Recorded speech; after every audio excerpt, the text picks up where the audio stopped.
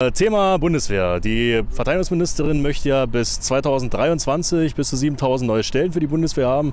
Was denken Sie darüber?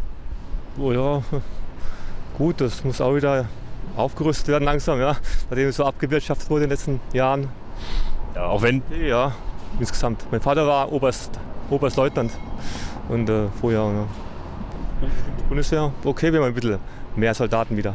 Oh Gott, was halten wir davon?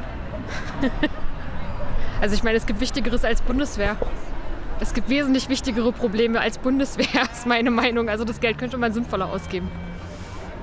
Ja, das heißt, äh, auch äh, Einsätzen der Bundeswehr gegenüber bist du dann wahrscheinlich eher kritisch. Auf jeden Fall, ja. Da haben wir heute das Thema Bundeswehr. Die soll ja um 7000 äh, Soldaten größer werden. Und uns interessiert deine Meinung dazu. Wusste ich zum Beispiel noch gar nicht, dass sie um 7000 Soldaten größer werden soll. Äh, Finde ich ein bisschen widersprüchlich, weil ja eigentlich es besser wäre, wenn jetzt mehr abgezogen würden aus den Krisengebieten. Aber naja, wenn die Bundesregierung das so will, dann wird es wahrscheinlich so, so passieren. Dann.